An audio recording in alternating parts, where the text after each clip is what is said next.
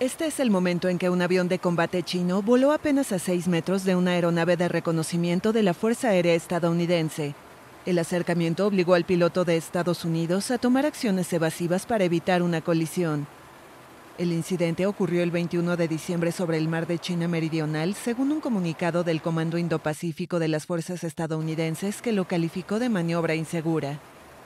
China ha enviado aviones de combate en dirección a Taiwán mientras reclama soberanía sobre la isla a la que Estados Unidos ha suministrado ayuda militar y tecnologías para defenderse.